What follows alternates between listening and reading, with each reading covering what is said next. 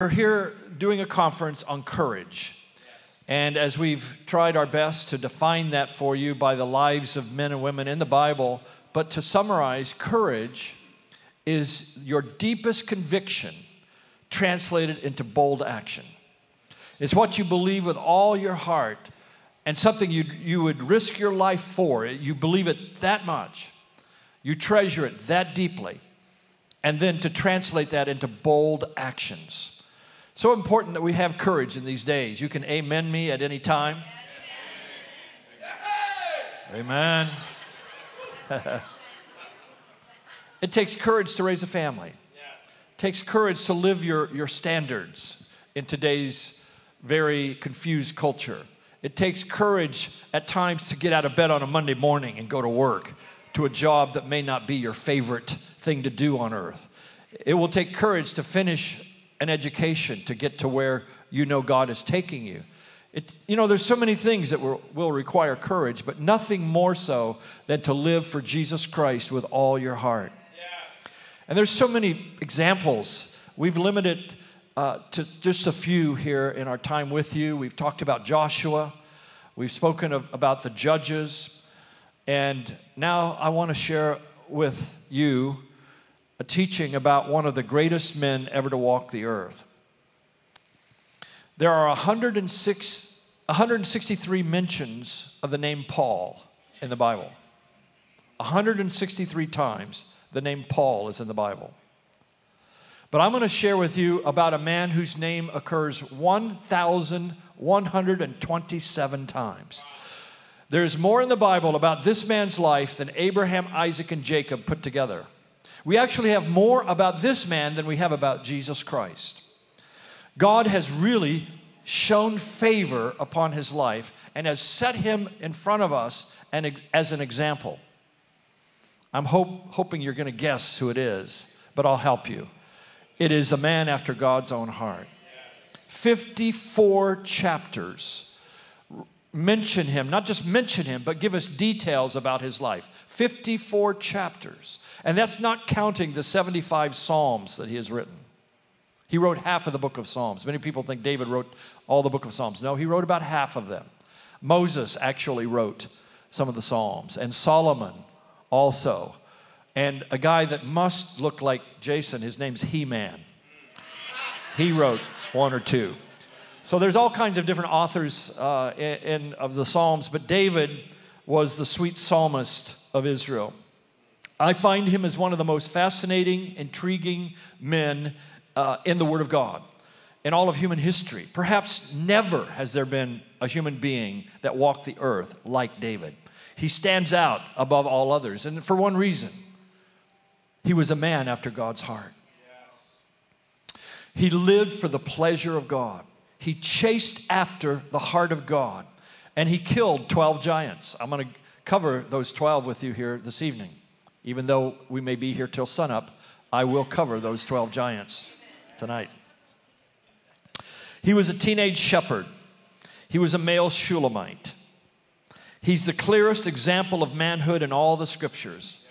I frequently get invited to speak to women because uh, the Passion Translation tends to touch the, the heart, and uh, the women get it, perhaps a little easier than some men. But I often, I likewise get to speak to men, and when I share with men for the first time, there's, it's going to be David, because he is the example of manhood. And every man in this room, listen up.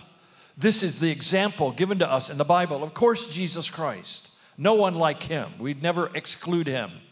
But as far as a, a, uh, a person that we can identify with, guys, it's this man, David. He was a giant killer, but he was the most tender, passionate man. He was a lover and a leader. There was something about him that was a mix of right and left brain. There was something about him that, that had the masculinity that drew some of the greatest champions of his day drew men to his side. It takes a leader to draw leaders to you.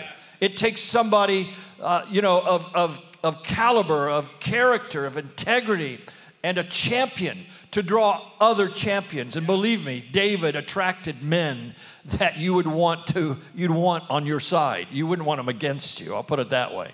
They were champions. 37 of his mighty men. And out of those 37, there were three that distinguished themselves above the other uh, 34. So David was a leader. There was a champion inside of him. But I want you to think of, of a 17 year old, a 15 year old kid on the hillside of Bethlehem, tending sheep and plucking the strings of a harp. And there he composed Psalm 23, perhaps Psalm 19.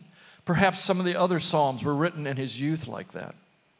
But there was this poetic person inside of this masculine, uh, the Bible calls him handsome, okay? So he, he was uh, attractive and, and, and uh, yet he was a deep well. Something about him touched God. He even invented musical instruments. Did you know that? I don't know if you've ever done that, but David did. I mean, we play the keyboard, but like invent one? That's what David did. He invented harps and, and, and uh, lyres. I've been around a few of those guys before. But he, he, he, he made musical instruments just to praise God. There was something within him that had to be released in worship and love and adoration for God. He truly was a lover. Yes, he was a fighter. But God doesn't say he killed all the giants. No, he said he's a man after my own heart. A thousand years after David's life, God still called him a man after my own heart. God's editing process is really gracious in our life. When He looks at our life, He never defines us by our flaws. People do that, but God will never. And uh, you can just rest in that snuggle position with the living God. And David understood that. David leaned his heart. He, he must have been like John, the beloved. He must have been like that, you know, a deep well, very passionate. And, and indeed, his name, uh, Dod, the, the Hebrew uh, name, and etymologists argue to this day about the full meaning of what his name means because it's related to so many other different words, uh, you know.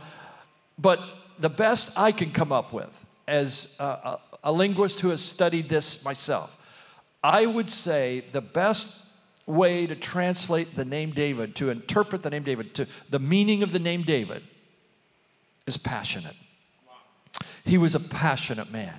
A related word, a cognate word from Dod is a pot boiling over, a, a, a seething, you know, the froth, what flows out from.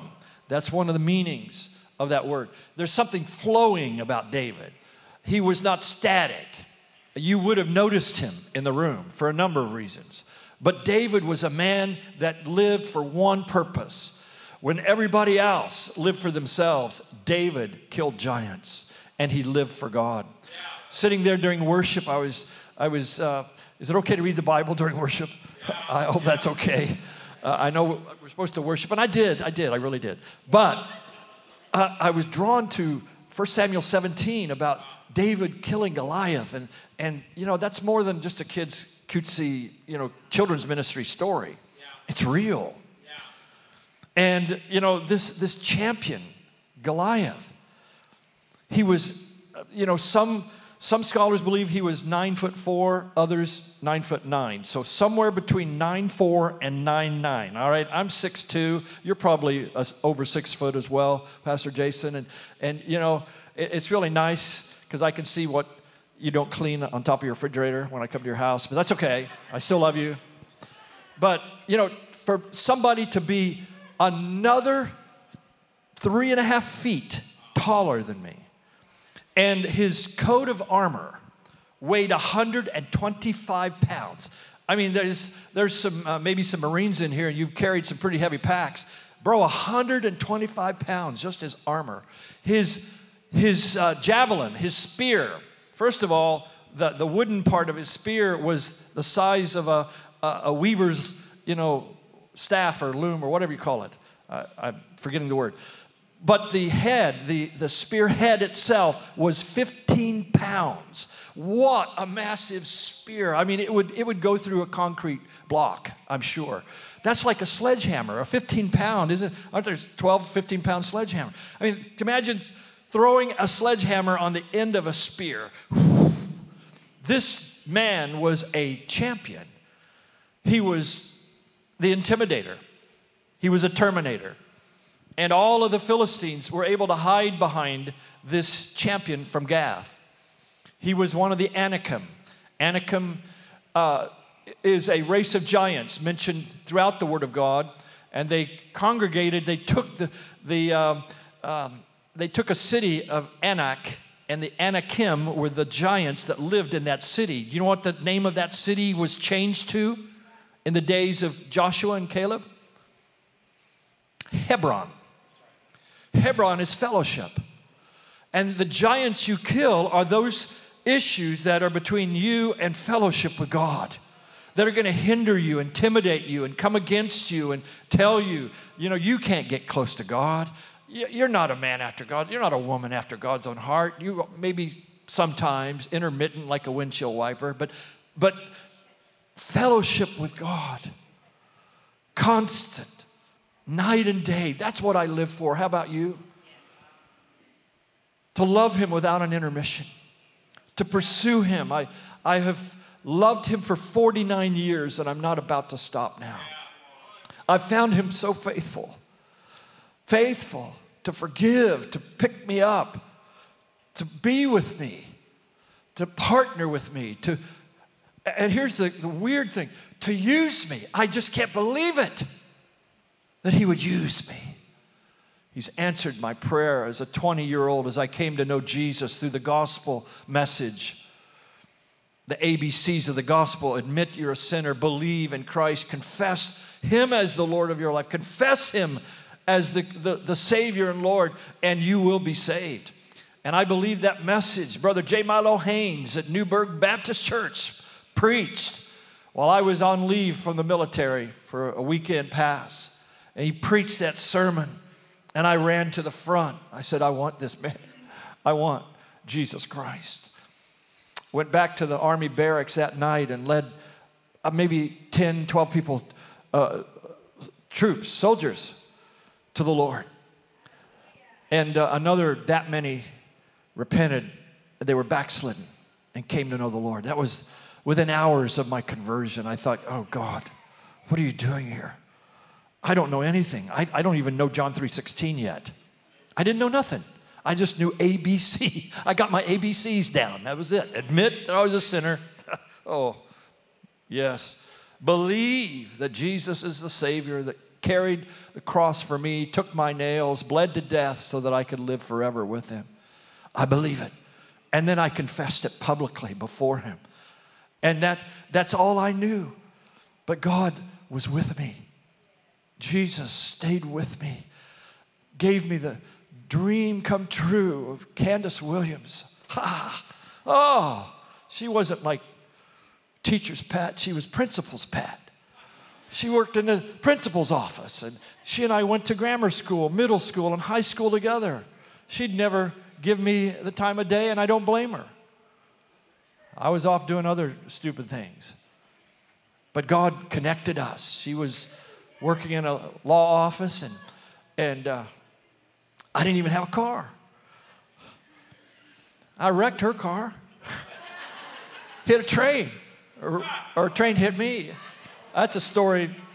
It's not what you. It's not what you think. I mean, the car literally stalled on the railroad track, right, Candice? We hit the newspaper that day, didn't we? Yeah. Totaled the car, crumpled it up into a mess, and we walked out of that. The devil was trying to kill us after our honeymoon. We'd only been married six days. And it was a blind intersection. Anyway, I don't need to defend myself. I'll, I, I didn't like try to run a, uh, that's not what I did, okay? Just so you know. I mean, I did a lot of bad things, okay? Lots of bad stuff. But I didn't do that. But I want to love him without an intermission. I want to pursue him all my life. We've, we've found him in the jungle. We've found him in the pastoral ministry as faithful, sufficient. And now, as we're translating the scriptures and, and doing whatever we do, we find him faithful. Haven't you found him faithful? There's nobody that could take his place. He's all I want, right? All I need, all you want. And that's why you're here on a Sunday night, Saturday night. David was a musician and a mystic, a poet and a warrior. This teenage shepherd was anointed by the prophet Samuel to rule as a king. He was rejected, he was overlooked. I had an interesting phone call a while back. It was a producer of a full length movie that's going to come out on the life of David. And I, I still, to this day, don't know how he got my number. I have no clue. But he called, and on the other end of the line, he said, I hear you've studied the life of David. I said, It's been my fascination for over 45 years. He said, Well, we're going to do a movie, and I just want to ask you a couple things. Uh, is it true that David was an illegitimate son? I said, Yes, he was. He was not the son of Jesse, and if you'll notice the text, Jesse's wife is never mentioned. He was the son of uh, a concubine, of the handmaiden of Jesse. And this was reason why his seven brothers wanted nothing to do with him because they were legit. He was like not in their minds.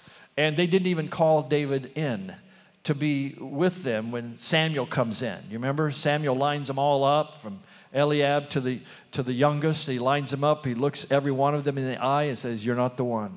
You're not the one. You're not the one. From the tallest to the shortest. And he got to the very end and then he turned to Jesse. And he said the words that need to haunt the soul of every one of us today, as it's spoken as though from God Himself through eternity. Do you have another son? Is there another? And God is looking for another. Jesus is the firstborn. Come on. He's the firstborn of many. Do you have another son?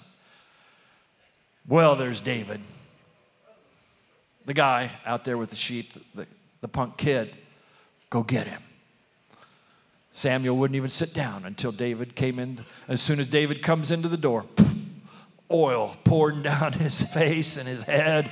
You're the one. You're going to rule Israel. You're the king God has chosen. And the seething anger of his seven brothers had to be visible on their faces. God chose a teenager. Anointed him with oil. David was anointed three times. Just because you get anointed once, can you like chill? I, I know you're anointed, but don't, you know, don't quite promote yourself yet until God does. David was anointed by Samuel. He was anointed by his brethren at Hebron. He was made the king over one of the 12 tribes. David says, Should I go up and take the throne?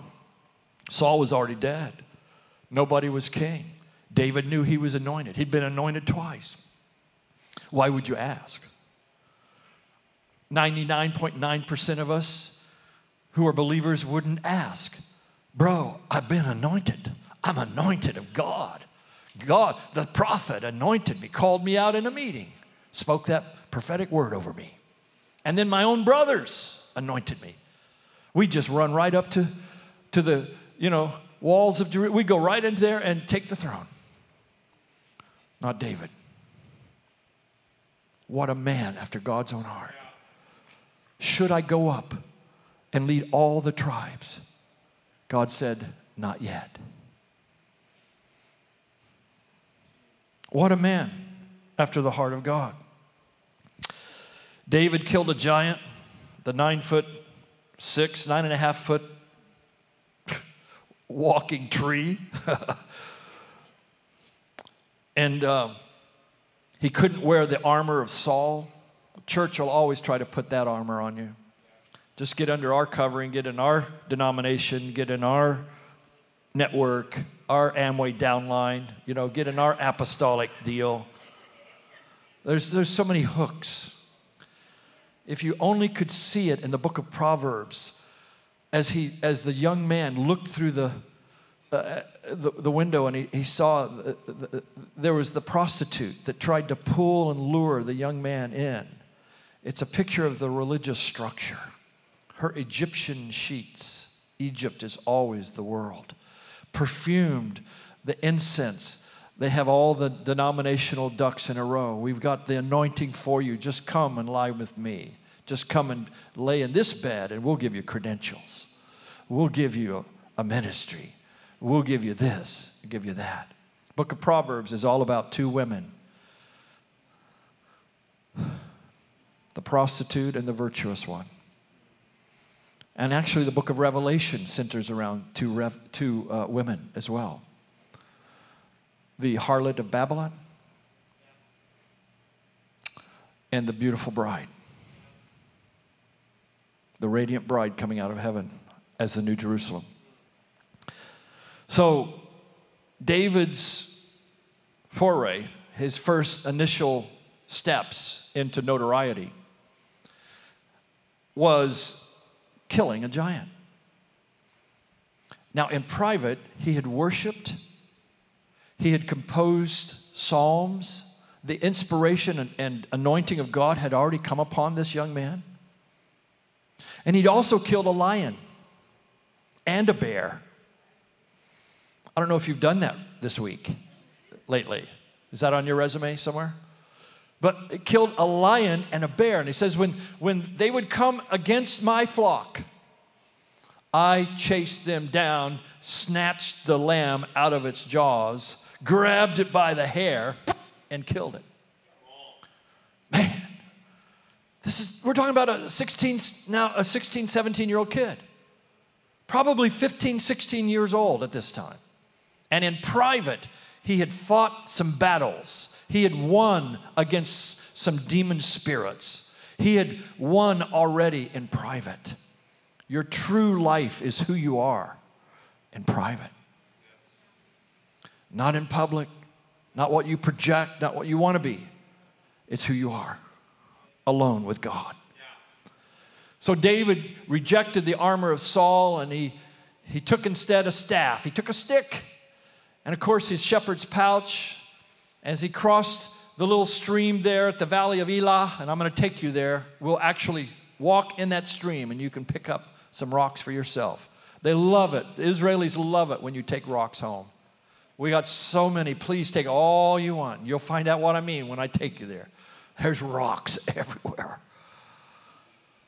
He crossed that stream and he went, and it says that he ran to face the giant. He ran towards his battle. That's courage. He didn't wait for Goliath to come after him. He went to where the battle was drawn. And this uh, giant man looks down at this mere boy he says, Am I a dog? Am I a dog that you send a kid after me with a stick? And then he cursed him in the name of his Philistine gods and says, I'm going to tear you limb from limb, and the birds are going to come and eat your carcasses. And David said, Uh uh-uh. uh You come to me with your shield, your staff, your, I mean, your, your spear. I come to you in the name of the living God. You're the one that's going to be dead lying on this field in but a moment. You see, it's a battle, of, it's a war of words, isn't it? Our spiritual battle oftentimes is, is whose word are you going to believe? Yes. The intimidator, the accuser, the liar, the one that rises up against you and, and says, I'm greater than your God. My, your problem is greater than God. That's what the devil wants to tell you. Your health issue, your family dysfunction, the issue going on in your business or career, eh, it's greater than God can handle. Not for David. This boy, Saul was seven foot. He was head and shoulders above everybody else, and I've seen some really big Israeli guys, okay? So to be head and shoulder above the warriors, he was at least seven foot, at least seven foot tall. So if anybody should have gone out and fought Goliath, it would have been the king himself. But no, he hid there on the hill and wouldn't go down. But David did. What a champion. What a courageous champion. And the man after God's own heart hurled that stone in his sling and it pierced the armor because the Philistine helmets, I've done some research, they all had a piece that came down over their nose, on their forehead and their nose. That was an armor piercing rock. Went right through the armor and sunk into his forehead. He falls down, and David wince, uh, runs to him before the enemy could do anything. They're in shock, and he picks up this massive sword and, and he whoops his head right off his body, severs his head. It rallied the Israelis, the troops of Saul, and they all raced down into the valley. And the Philistines chased them all the way to Gath, the gate of the city of Gath. And it says, along the way, it was strewn with the carcasses of the Philistines that, that they had killed. David broke the principality over the land. And the principality over the land is intimidation, it's fear, it's whatever takes the courage out of your heart. Did you know David took Goliath's head? You know what he did with Goliath's head? Anybody know what he did with his head? He took it back to Jerusalem. He took the head all the way back to Jerusalem, buried it there. That's where Golgotha got the name, the place of the skull. Goliath and Golgotha come from the same Aramaic root word, it's related linguistically. Buried Goliath's head there. So the cross pierced Goliath's skull. Goliath is a picture of the mind of man that exalts itself, the high thoughts that exalts itself, academia scholarship. Who do you think? You don't know anything. Well, I know God. I know His goodness and His grace. And this mind of man is, is the, the biggest enemy to the advance of the church today. The principality God wants to slay is on your shoulders. God will use your sanctified mind. But if you live only in the soap opera, the drama of your head, you're going to be so frustrated and so defeated and so deceived. There's more in the Bible about deceiving yourself than there is somebody else deceiving you, times two. There's twice as many scriptures about not deceiving yourself, being self deceived, than there is of somebody coming and deceiving you. Isn't that interesting? So let's run through these 12 giants. Number one was Goliath. The first gi- giant that David killed was Goliath. Number two, he had to kill the giant of rejection from his own family. If you don't think that's a giant, uh, well, I'll help you understand. It is. It's a giant. His brothers didn't believe him. When David comes to the battlefield to kill Goliath, they mock him. They call him conceited, proud, with an evil heart. And here he is bringing food and, and, and stuff from home, you know, cheese and, and bread, and he's, he's coming with things to feed his brothers. So often, the very one that comes to feed us, we turn on them. And that's what happened with David. His own brothers rejected him. So, to finish my story, I just realized I didn't really finish it. The producer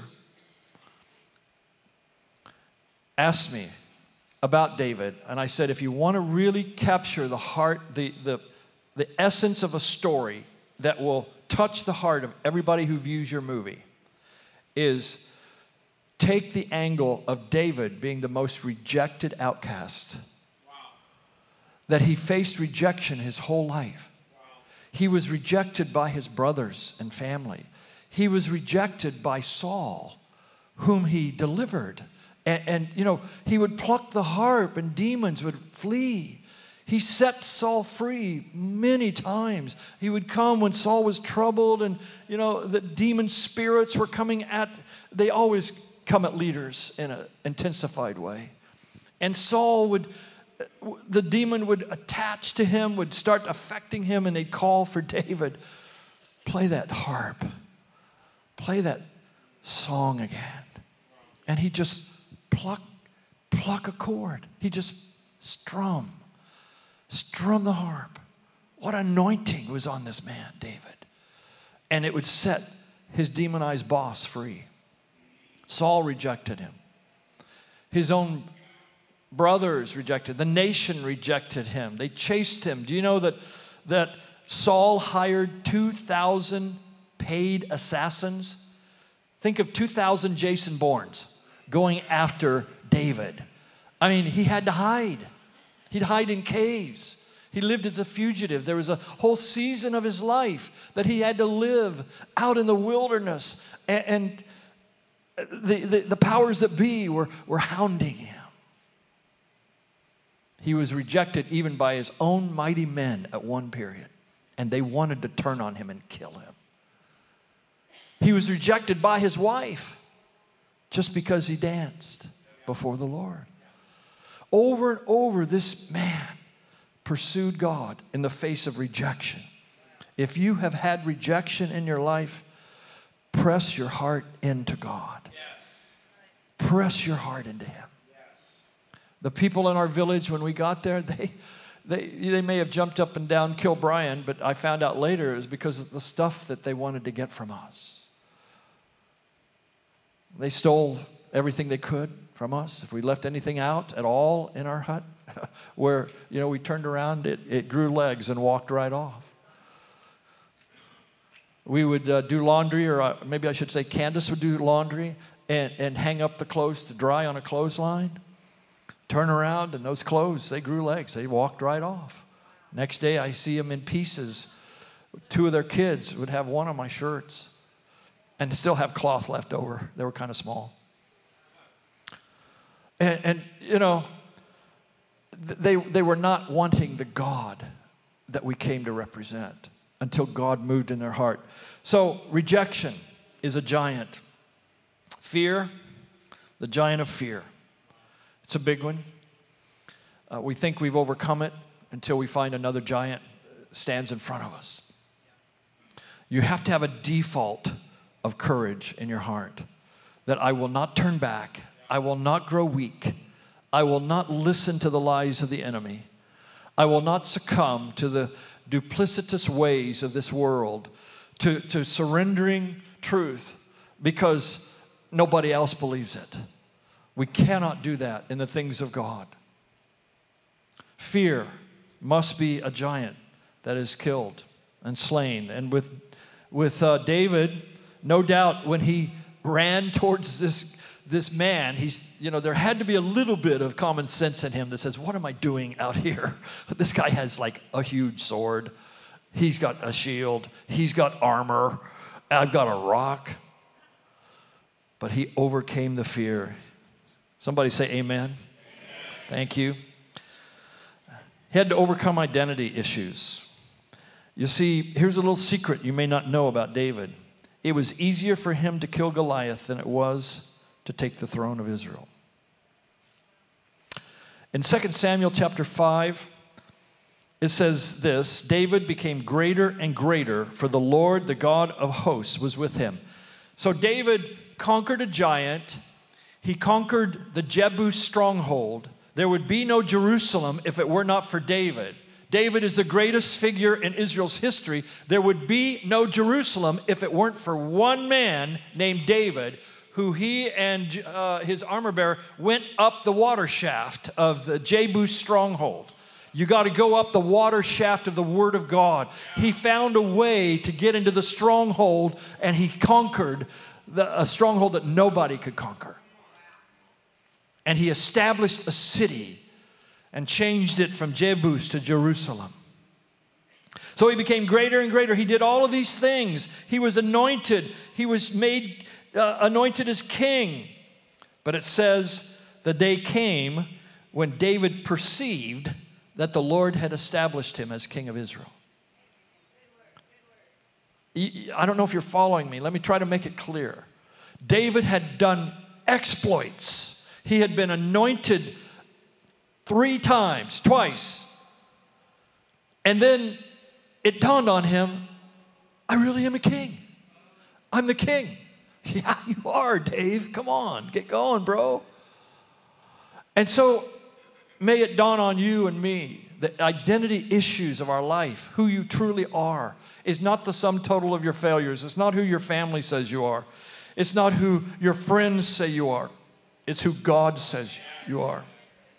The giant of identity, that's number four. The fifth is self love. He had to kill the giant of the applause of others. When he killed the giant, all the chicks were singing their song, man. All these beautiful gals, they would they'd come out and dance in, in front of David, and they'd say, you know, Saul has killed his thousands, but David huh, has killed tens of thousands. And they, all the women of Israel, the single women, the single girls, come on, saw this young adult, saw this young man, realized the anointing, the, the charm of his life, the, the, the, the, the allurement of the anointing of God when it comes on somebody. And they saw that and they sang his praises, and it reached the palace, and Saul was jealous. The Saul spirit, the religious system, always is jealous of, a, of one more anointed than you being raised up underneath you. Can't handle somebody more anointed. When in fact, we've got to raise up those that have a thousand times more anointing. So he, David, it didn't go to his head. He didn't, you know, he didn't buy into the applause. Folks, it can be intoxicating. And Bishop Jason knows that it has taken out a lot of ministers and ministers, a lot who begin to believe that there's something that they're not, that it's them instead of the anointing. It's God's grace on them and to begin to, you know, in a, in a pernicious way, to receive that applause and receive that affirmation and, and lauding of, of the masses, it didn't touch David's soul.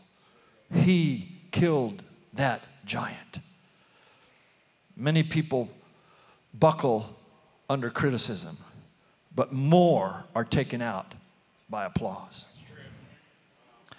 And then is it number six? Uh, honored leaders that opposed him.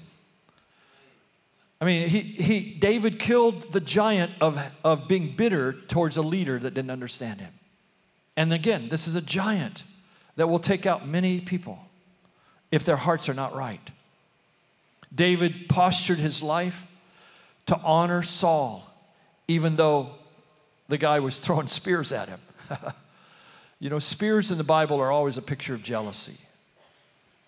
And Isaiah 2 says, The day will come when we will beat our spears into plowshares. Instead of using spears to throw at one another, we will beat them into harvesting instruments. We will use that energy and that zeal to bring a harvest. And we'll take our, um, we'll beat our, our swords into plowshares and our spears into pruning hooks. Instead, we'll prune the dead things of our own lives when jealousy rises up. You guys okay tonight?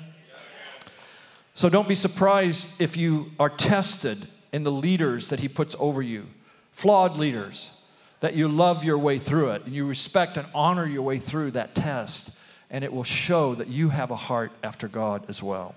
The seventh test, this is a big one. Oh my, this is a giant and it's waiting on God's timing. Waiting for the timing of God. I already shared it that David, after being anointed twice, he asked God, Should I go up now and take the throne? Do you realize what this does to a man? That you have the opportunity to be a king, but out of God's timing? To do what you know God has already shown you that you're going to do, but you miss the timing? You must understand that the will of God and the timing of God are two distinct issues. Many will know the will of God, few discern the timing of God. Just because you know God's will doesn't mean you know His timing. In the fullness of time, God sent His Son. For us, the fullness of time is any time, but not God. He has a plan. And this plan, David submitted to it. He understood. He actually inquired. He wanted God to help him with the timing. What a man of humility. Is anybody else seeing it? I know, uh, you know, we had a busy weekend, but stay with me on this, guys. There's something about the heart of this man that if you embrace this, you'll not only get courage, you'll get favor. You'll get the favor of God. And then the opinion of others. Whatever number, somebody tell me what number is that? Is that eight? The opinion of others, the giant of opinions. What others think of you. That's a big one. You know, uh, you, you do pretty good until you got everybody in front of you telling you, you know, telling you you're wrong. You got issues, you got this, and you're, you're this or that. But to be dead to the opinions of others, it's a giant. It's a giant you must slay with the living word of God as you pierce your heart with truth. Then you'll no longer be led astray by the lies nor the applause of the opinions of others. And it doesn't mean you get bitter, it doesn't mean you turn at them. And at times, the best thing to do is not defend yourself.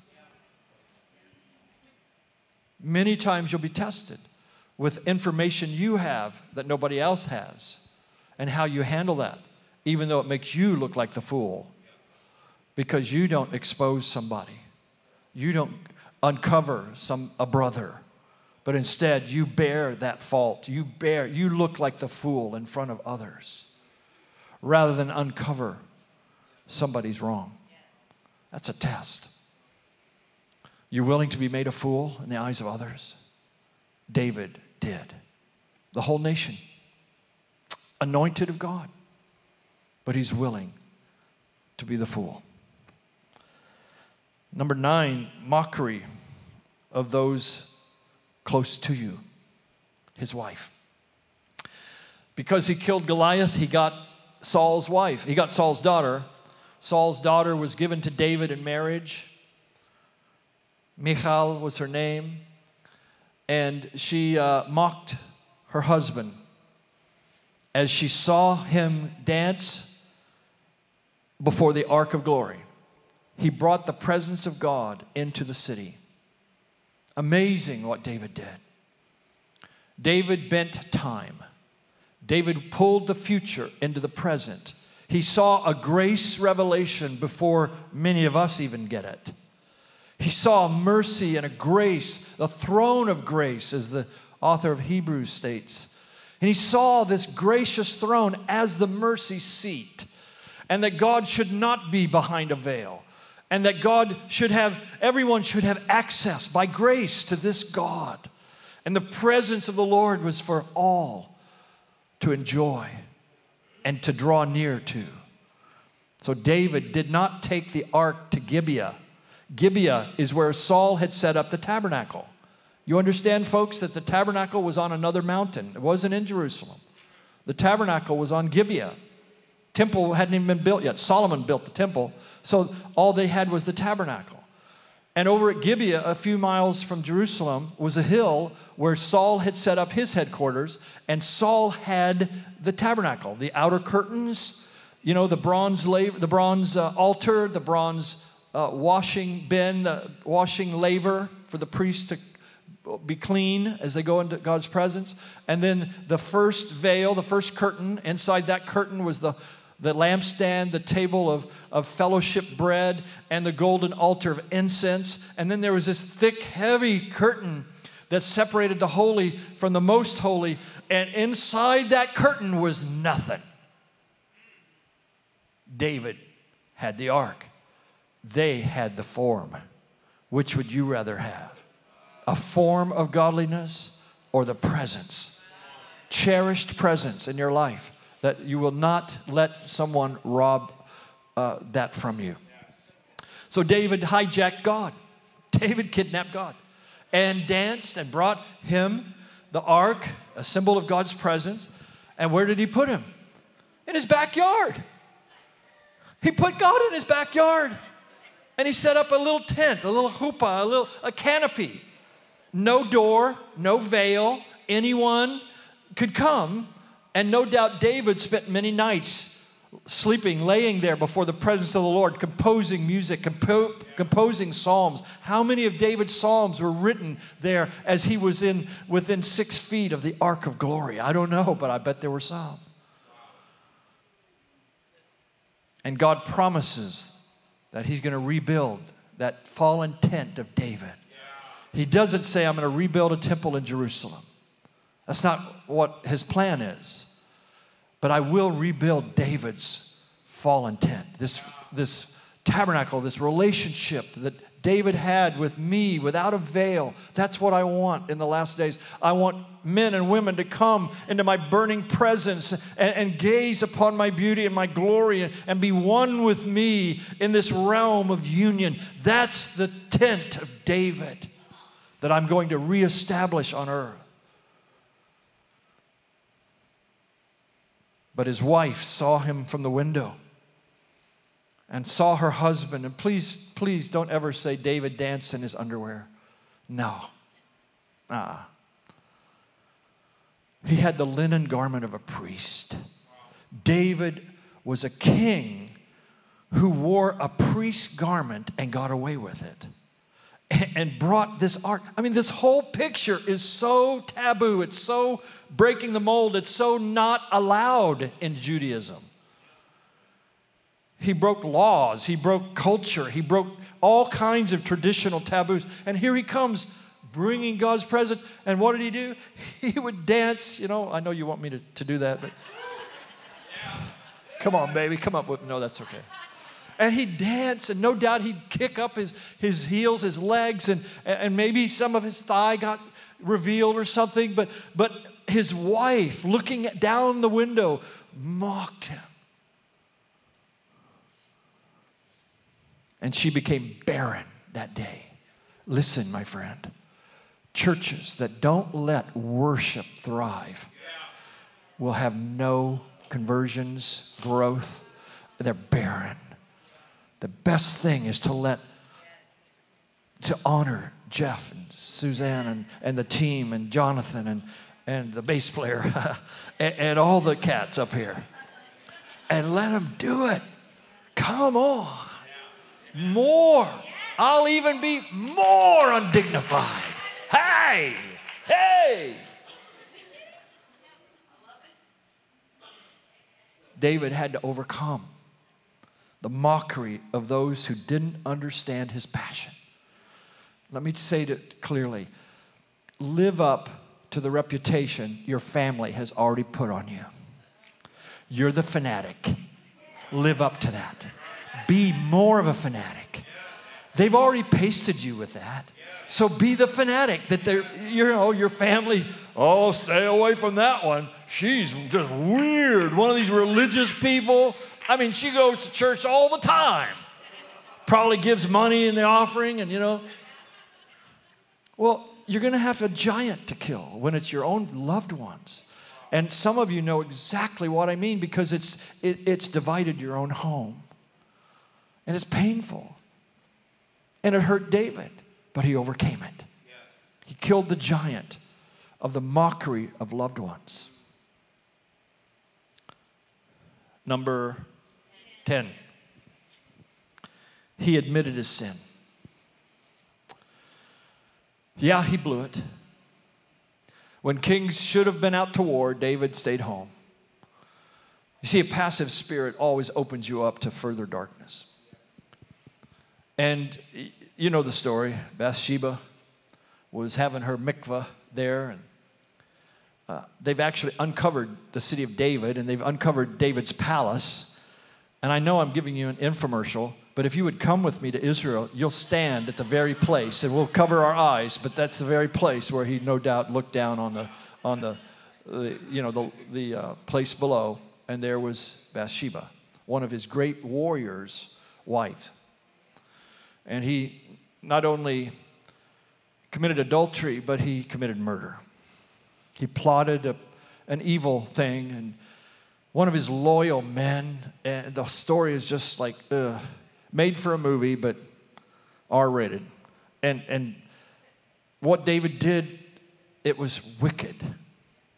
But when the, a prophet came, exposed his sin, it pierced his heart.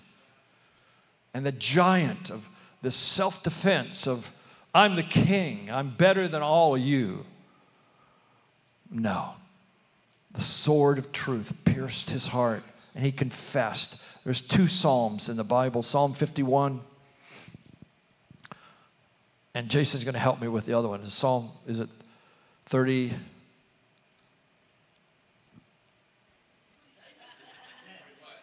With David's confession. Psalm 51.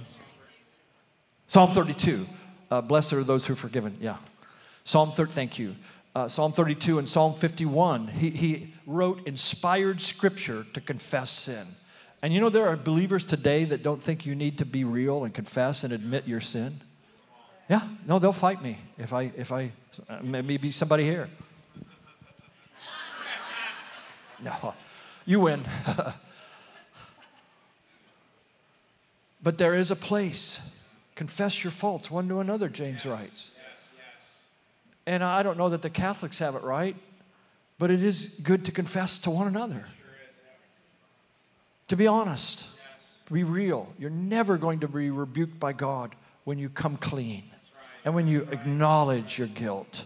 That's a giant that holds people back. They'd rather cover it. They'll, they'll drown it with alcohol or they'll hide it.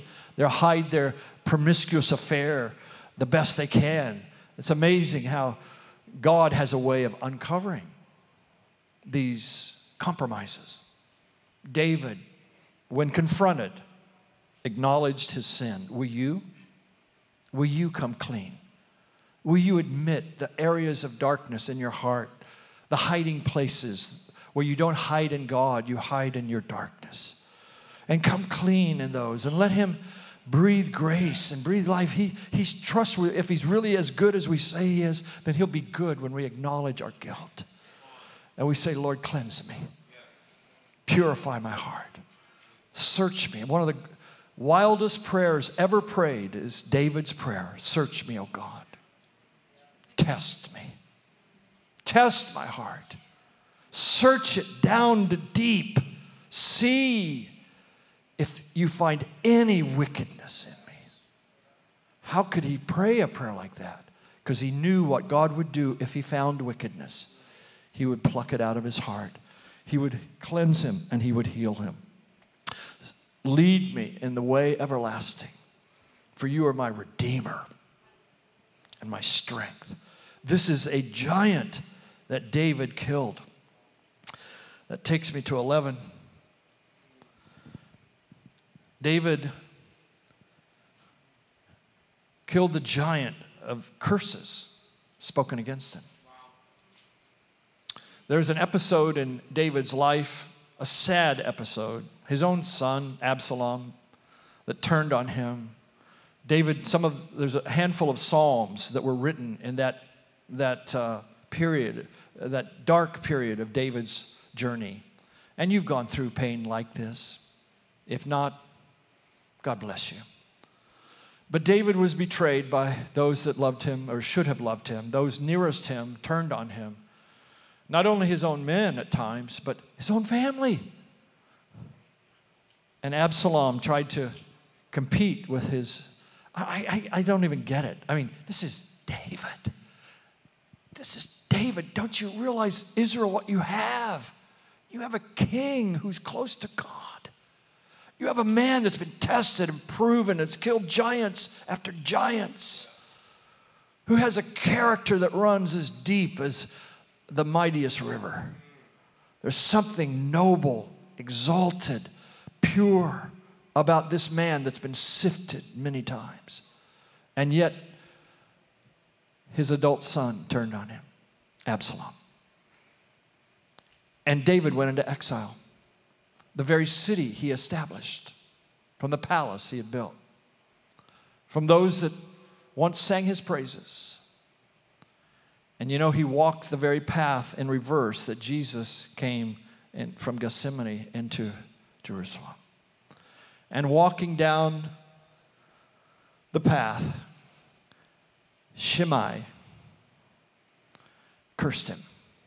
He was one of Saul's relatives, descendant of Saul, and cursed David.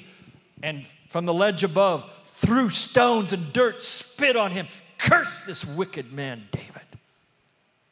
Abner takes his sword. David says, No. No. It may be God raised him up to rebuke me. You tell me a man like that. It goes so against the grain of the male heart, of a leader's heart, of anybody's heart to be cursed like that. He killed that giant. He didn't kill Shimei. He killed the thing in his heart that would, try, that would be embittered, that would, that would send one of your mighty champions. I mean, David was surrounded. You talk about like Secret Service guys. I mean, he had, he had crack troops, he had the special forces, he had some of the wildest, bravest, courageous, powerhouse guys around him. All he had to do is flip his fingers, click his fingers, and, and Shimei would be cut in pieces for cursing the king. That's a giant. And here's the last. We'll go home. Uh, let me try to, before I finish this, let me try to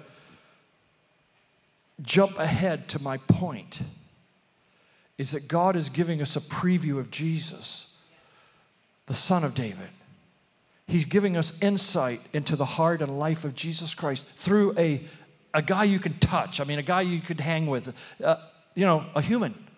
I mean, we, Jesus was human, but he was God too, so we kind of feel intimidated.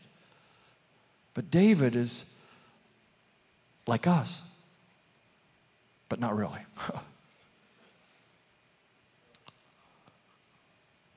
The last giant, he kept his promise. You know what the promise he kept was?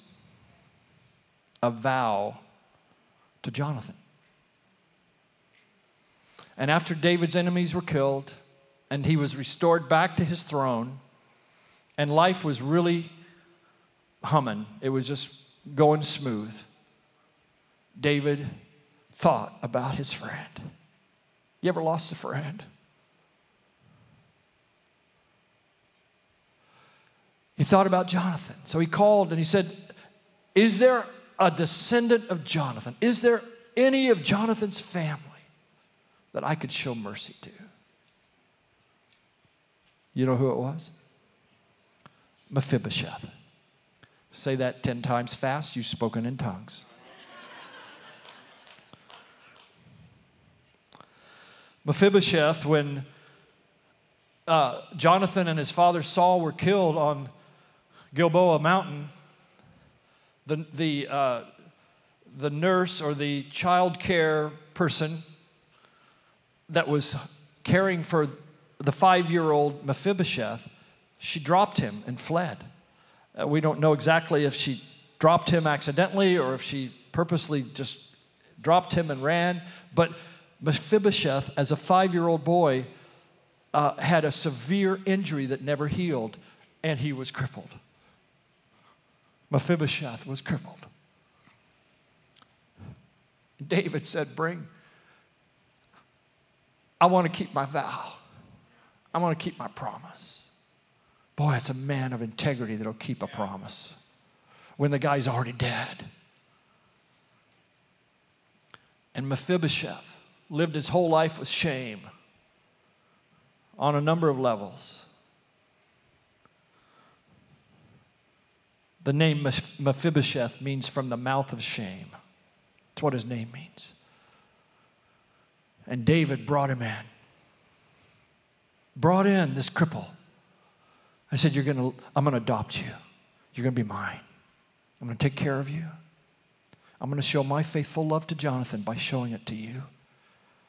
And you're gonna sit at my table, you're gonna eat my food, you're gonna be right next to me. And he, he became part of the royal family and lived in the palace. What a grace message, you know, to sit at the table of the king. Is there any Mephibosheth in this room? You had a fall. You haven't walked perfectly. And from the mouth of shame, you've embraced words spoken over you. But one greater than David, son of David sits on David's throne, who has the key of David, the root and offspring of David, who has the horn and authority of David, brings us to his table, the Lord's table. And we get a feast with him. David was a giant killer. And I hope this short lesson on the life of David will give you some things to ponder about character, about our lives that we would be as, as clean in heart as David was? So take these giants and kill every one of them. Don't fall, don't stumble. And if you do, don't worry. The God of David will be your Redeemer, the faithful one who wrote Psalm 107, the faithful one whose mercies endure forever. and God will restore you. Would you stand, please?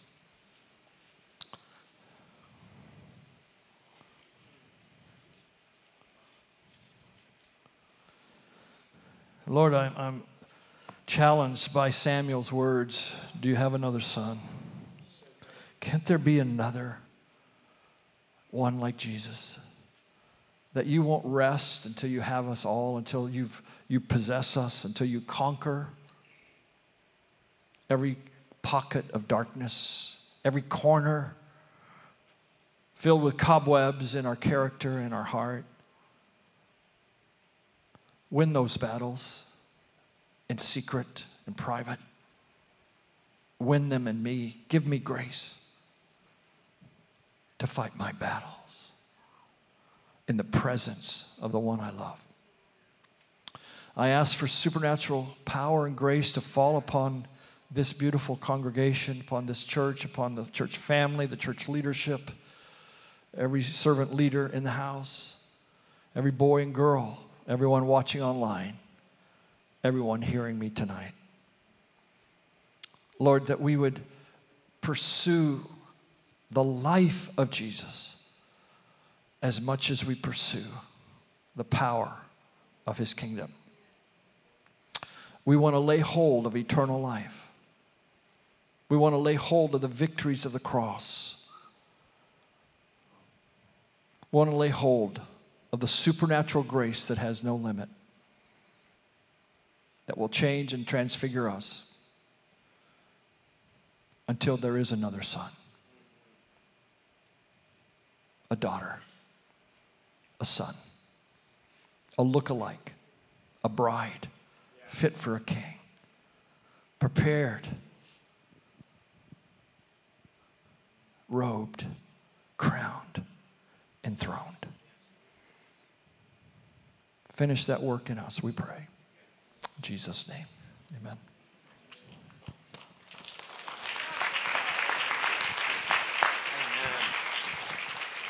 What a great word, amen.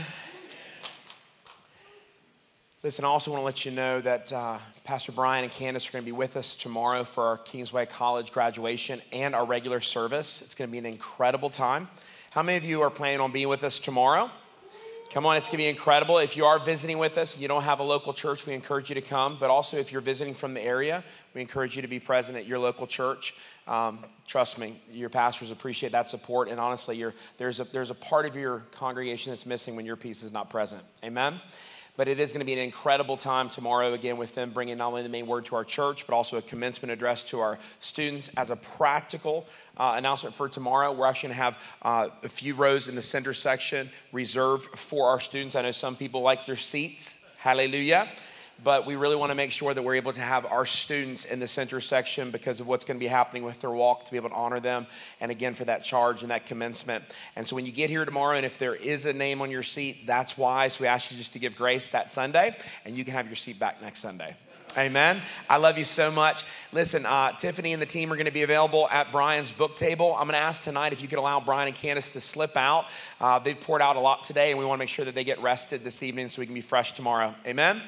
Enjoy your night. God bless. We're so glad you're able to join us online for this service at Kingsway. We pray you are blessed, encouraged, and empowered through this broadcast. If you're watching on YouTube, make sure you subscribe to our channel so that you can stay up to date with our latest content. Or if you're watching on Facebook, you can like, comment on what impacted you, and even share with your friends. No matter which platform you are using, we would love to hear from you. You can email us at testimony at kingswayal.com. We are so excited to hear what God is doing in you. We really are, and we're grateful for all the things that are happening in and through the family of Kingsway. We want you to know we love you, we're praying for you, and we bless you to walk in the fullness of who you're called to be. We'll see you next time.